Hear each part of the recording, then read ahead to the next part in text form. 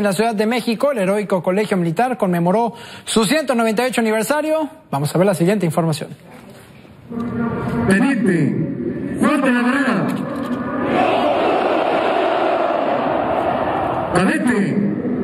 escucha.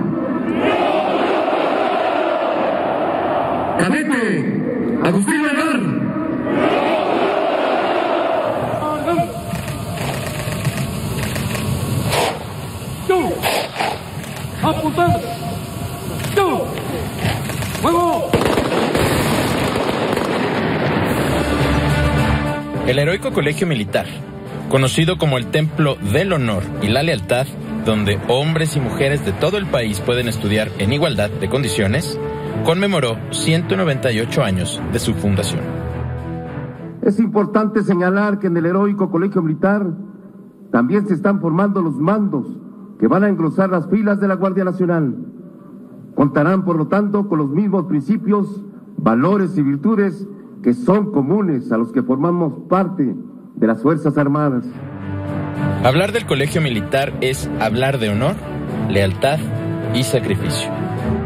Los valores que se inculcan aquí, eh, institucionales, eh, son los que se inculcan a todo integrante del Ejército y Fuerza Aérea mexicanos. Sin embargo, pues eh, al estar aquí en el, precisamente en el Templo del Honor, se enfatiza, se enfatiza poquito más todavía, ¿no? Eh, en cuanto a los valores fundamentales que todo caete vive día con día. El honor, el valor, la lealtad, el patriotismo, la negación, espíritu de cuerpo, eh, disciplina, eh, igualdad. Nosotros como militares y especialmente como cadetes, pues lo más importante para nosotros es el pueblo de México, la juventud, la niñez, en sí toda la población de, nuestro país. Nosotros todos los días nos, nos enfocamos a, a prepararnos para servir a México, para servir a nuestro pueblo.